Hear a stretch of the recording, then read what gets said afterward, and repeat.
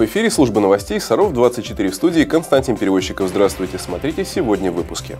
Будущие исследователи и доктора наук. В Департаменте образования наградили призеров и победителей Всероссийской Олимпиады школьников. Новые технологии в обучении дошкольников. Воспитатель из Сарова стала победителем регионального этапа Всероссийского конкурса. Быстрее, выше, сильнее. На стадионе «Авангард» прошел традиционный спортивный праздник. Далее расскажем обо всем подробно.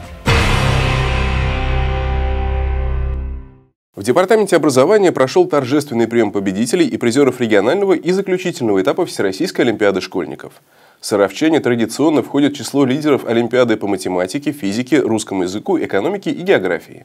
Кроме того, старшеклассники были награждены за успехи на региональном этапе Олимпиад. Подробнее о церемонии награждения расскажем в следующем репортаже. Эти мальчишки и девчонки посвятили свою жизнь изучению научных дисциплин уже со школьной скамьи. Биология, химия, физика, русский, английский, немецкий языки. За высокие результаты в Олимпиадах по этим и многим другим предметам ребята получили дипломы и памятные подарки. Вы показали э, высокие результаты, вы продемонстрировали действительно каждую победу над собой. Я 11 классу желаю поступить в те вузы, которые они хотят, добиться тех успехов, которые они для себя нарисовали дальше. Ну а для десятиклассников, девятиклассников я искренне желаю, чтобы здесь в следующем году мы вручали дипломы за заключительный этап Всероссийской Олимпиады школьников. С приветственными словами поздравлений и пожеланий дальнейших успехов на выбранном пути к старшеклассникам обратились представители администрации ядерного центра, особо отметив настойчивость ребят в достижении поставленных целей. Уже то, что вы выигрываете Олимпиаду, то, что вы их участвуете, стремитесь в них э, быть и быть лучшими, уже говорит о том, что у вас сформировался характер. То, что без характера ничего быть не может. На торжественной церемонии награждения были отмечены и наставники школьников. Учителя и педагоги дополнительного образования также получили грамоты и ценные подарки. В их числе был и сотрудник ядерного центра Константин Павлунин. В свободное от работы время он занимается с учениками в рамках проекта «Молодые таланты Сарова». Это совместный проект ВНЕФ и Департамента образования в рамках подготовки талантливых детей к Олимпиадам различного уровня. Глядя на своих воспитанников, Константин вспоминает свои школьные годы. Увлекшись с ранних лет математикой, он тоже участвовал в различных олимпиадах олимпиадах. Теперь мужчина помогает постигать азы этой сложной науки одаренным детям. Детей, конечно, тяжело готовить, но все зависит от того, как к ним относиться, какие взаимоотношения у вас с детьми. А, это нелегкий процесс, но мы справляемся. Также на торжественном приеме в Департаменте образования отметили большой вклад директоров школ в поддержку талантливых и целеустремленных ребят и их наставников. В Нижнем Новгороде прошел финал регионального этапа Всероссийского профессионального конкурса «Воспитатель года России». Саров представлял воспитатель детского сада номер 15 Татьяна Кощеева. Жюри присудило саровчанке первое место и звание победителя. В ноябре этого года Татьяна Кощеева будет защищать честь региона в финале всероссийского конкурса. Работа с маленькими детьми всегда привлекала Татьяну Кощееву. Для нее малыши – это источник вдохновения и жизненных сил. Дети открыты чему-то новому. Стараясь дать своим воспитанникам как можно больше знаний, Татьяна Кощеева и сама находится в постоянном саморазвитии. Каждый день у нас проходит в рамках какого-то, можно сказать, мини-проекта. Мы постоянно что-то узнаем. Каждый день для нас это очень интересный день. И мне это очень дорого давать именно детям новые знания, потому что до этого они его нигде, возможно, даже и не приобрели. Сейчас на попечении Татьяны Кощеевой ребята подготовительной группы. Дети испытывают к своему воспитателю искреннюю любовь и уважение. Татьяна Владимировна очень хорошая, добрая, и я очень много чего узнала. Татьяна Владимировна очень хорошая, добрая, красивая. Она нам очень хорошо читает книжки и рассказывает. В своей работе Татьяна применяет различные методики, делая упор на логические способности детей. Для участия в региональном этапе конкурса воспитателей Татьяна представила свои разработки, показала занятия по математике и основам финансовой грамотности. Женщина не обошла вниманием и современные технологии. Мы разработали интерактивные карты, когда ребенок, нажав э, на определенную клавишу на интерактивной доске, оказывался в том месте, где бы он хотел попутешествовать. Также была аудиозапись других детей, которые рассказывали об этом, об этом месте. И к муниципальному, а затем и к региональному этапу Всероссийского конкурса воспитателей Татьяне Кощеевой помогали подготовиться ее коллеги. Большая честь. А мы впервые участвовали в конкурсе такого уровня и очень рады, что оказалась победа Татьяны Владимировны достойной на областном нашем уровне. В ноябре Татьяна Кощеева отправится на федеральный этап всероссийского конкурса, который пройдет в Московской области. В заповеднике имени Смедовича на территории Пуштинского участкового лесничества горят и тлеют завалы последствий природных пожаров 2010 года. В связи с пожароопасной обстановкой в Темниковском районе в Мордовии введен режим чрезвычайной ситуации. На месте возгорания работает аэромобильная группа МЧС России, а также сотрудники и техника заповедника. Кроме того, с пожаром помогает бороться автоколонна Сарова.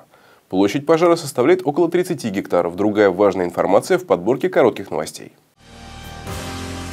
Последний звонок для саровских выпускников прозвенит четверг 23 и в субботу 25 мая. Как сообщили в Департаменте образования, в этом году школа окончит 477 ребят, на 10 меньше, чем годом ранее. В большинстве саровских школ торжественные линейки пройдут в субботу. Раньше всего 23 мая последний звонок прозвучит в 16 и 17 школах. 23 мая в Центре занятости населения пройдет ярмарка вакансий и учебных рабочих мест. У саровчан будет возможность пройти собеседование с работодателями, освоить навыки составления конкурентоспособного резюме, воспользоваться консультациями юристов по вопросам труда и занятости. Телефон для справок 7 92 70. Кинозал городской художественной галереи приглашает саровчан на премьеру документального фильма «Девушка с жемчужной сережкой». Это лента об одной из самых известных картин в истории искусства, которую в середине 17 века написал выдающийся нидерландский художник Ян Вермеер. Показ очередного фильма из цикла «Арт-лекторий в кино» состоится 23 мая. Начало в 6 часов вечера. Билеты в кассе галереи. Парикмахер из Сарова выступила на 16-м открытом отборочном чемпионате Приволжского региона по парикмахерскому искусству. За 25 минут мастеру предстояло сделать прическу для новобрачной. По итогам чемпионата парикмахер-стилист заняла первое место. Получила путевку на всероссийские соревнования и повысила свою квалификацию до категории мастер. Подробности далее. Начался сезон свадеб по выпускных, а это значит, что у парикмахера-стилиста Марии Беляковой нет ни минуты свободного времени. Мария рассказывает, что сегодня у юных красавиц особой популярностью пользуются объемные плетения и 3D-косы. Эти прически не занимают много времени и эффектно выглядят. Опыт и мастерство саровчанки оценили на региональном чемпионате по парикмахерскому искусству. И мне захотелось, чтобы меня оценили именно профессионалы в плане чистоты, геометрии, ну, вообще, в принципе, стилистики в целом, как это подходит к лицу. Базовые знания по парикмахерскому делу Мария получила в нашем городе и практически сразу поняла, что нужно развиваться дальше. Стала ездить на курсы, повышать квалификацию. Выиграла городской конкурс среди парикмахеров и задумалась о покорении новых вершин. Участникам чемпионатов по парикмахерскому искусству не обойтись без помощи наставника. Он, как тренер в спорте, считает Мария, поможет и словом, и делом. Это мастер, который четко знает э, правила, четко знает, что нужно предоставить в той или иной номинации и, в принципе, подготовить, чтобы это было выигрышно. Множество соперников и только 25 минут на выполнение задания. Участников чемпионатов среди прихмахеров ставят в непростые условия. Чтобы уложиться в регламент, мастера заранее продумывают все до мельчайших деталей. При создании прически на каждую прядь отводится определенное количество минут. Она должна соответствовать образу, сочетаться с платьем и макияжем. На чемпионате Мария выполнила прическу для новобрачной. Конкурсы дают э, э, владение волосами, техника, это, конечно, безусловно но здесь еще у тебя включается владение собой, да, стрессоустойчивость. По итогам конкурса Мария заняла первое место, получила категорию «Мастер» и путевку на чемпионат России, который пройдет в Санкт-Петербурге в ноябре этого года. На базе лагеря «Гайдар» прошел традиционный заезд, посвященный Дню семьи. В нем приняли участие более 300 человек из профсоюзной организации ядерного центра. Программе заезда лазертак, пейнтбольный тир, зоны семейного отдыха и множество других развлечений для детей и их родителей. Самые юные гости приняли участие в квесте, который посвятили Году охраны труда и безопасности жизнедеятельности в госкорпорации «Росатом». Из ярких водных пистолетов юным пожарным в желтых касках предстояло потушить условный огонь. На одной из станций квеста под названием «Скажем да охране труда» ребята вспомнили о правилах поведения при обращении с огнем. По сценарию квеста команды спасали сказочного героя, собирая подсказки по территории лагеря. Этот год в госкорпорации объявлен годом охраны труда и э, годом безопасности жизнедеятельности. А, соответственно, мы руками и ногами за, потому что это семья, а семья без безопасности не бывает. Как вести себя на пешеходном переходе, как пользоваться электрическими приборами и какие правила поведения в быту помогут избежать неприятных ситуаций. На эти другие вопросы участникам квеста помогали отвечать модераторы, друзья безопасности. За правильный ответ они давали командам подсказки буквы, из которых нужно было составить ключевое слово. У нас все получалось, э, но мне очень понравилось, и всем ребятам тоже.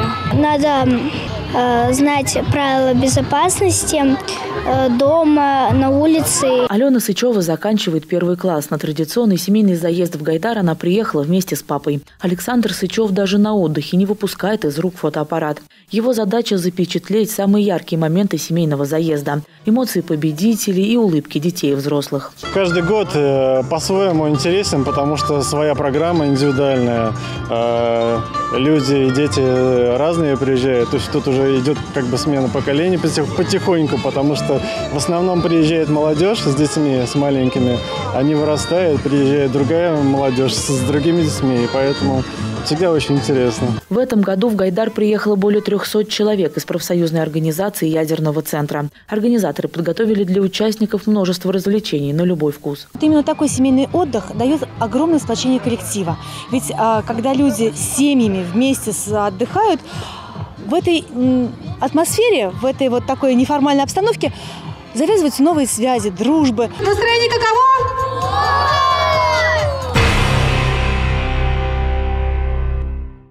В рамках празднования 74-й годовщины победы в Великой Отечественной войне на стадионе «Авангард» прошел спортивный праздник. В нем приняли участие сотрудники ядерного центра, члены их семей, работники городских организаций и ветераны. Помимо соревнований в различных видах спорта желающие могли сдать нормативы ГТО. О том, как проходили традиционные соревнования, расскажем в следующем репортаже. Прыгать только вместе, наклоны обязательно синхронно. Бежать, держать за скакалку, чтобы участники команды не отставали. В этом году организаторы впервые включили легкоатлетический экстрим в программу праздника. Всего спортсменам предстояло на время преодолеть шесть этапов, на каждом из которых они выполняли силовые упражнения. Первое приседание выпады, пресс, э, тачка, это надо за ноги держать человека, он идет на руках, э, бёрпи и турник. И между ними кросс. Всего в легкоатлетическом экстриме участвовали 12 команд, в каждой по 4 человека. Между упражнениями никакого отдыха, только бегом от этапа к этапу. Эти соревнования требовали от спортсменов хорошей физической подготовки. После финиша сил у некоторых практически не осталось. Все очень понравилось, все очень интересно, увлекательно. Конечно, было чуточку сложно, потому что форму надо подтягивать. Но не только молодежь могла попробовать свои силы в спорте. Особое внимание уделили ветеранам. Помимо интеллектуальных видов спорта, шашек и шахмат, в этом году организаторы включили в программу праздника скандинавскую ходьбу. Небольшая разминка перед стартом, и пенсионеры отправились в пешую прогулку по улицам города. Любовь Михайловна Власова впервые приняла участие в таких соревнованиях и осталась довольна проведенным временем. Нам приятно, что город любит праздники спортивные, что поддерживает молодежи очень много сегодня. И мы, в свою очередь, пенсионеры, не остались равнодушными. Нам тоже захотелось поучаствовать. Спортивный праздник, организованный ядерным центром, уже давно стал традиционным. На него приходят с семьями. Пока одни боролись за лидерство на дистанции или за игровым столом, другие поддерживали своих близких. С приветственными словами к участникам обратились представители ядерного центра и профсоюзной организации. Этот год в ядерном центре объявлен годом охраны труда и здорового образа жизни. И, безусловно, спорт, физкультура – это наше здоровье, это здоровье нашего предприятия. Всего в спортивном празднике приняли участие около 200 любителей активного отдыха и здорового образа жизни. Для каждого нашлось занятие по душе. Пока одни обливались потом на беговой дорожке, другие вели молчаливый спор, разыгрывая партии в шашки или шахматы. Елена Грицкова, Константин Островский, Александр Мальков, служба новостей Саров 24. Впереди вас ждет прогноз погоды. И это все, о чем мы успели рассказать сегодня. Следите за новостями города в группах канала 16 в социальных сетях ВКонтакте, Facebook и Одноклассники. Подписывайтесь на наш канал в YouTube и смотрите все информационные выпуски, авторские программы и расширенные версии репортажей в удобное для вас время.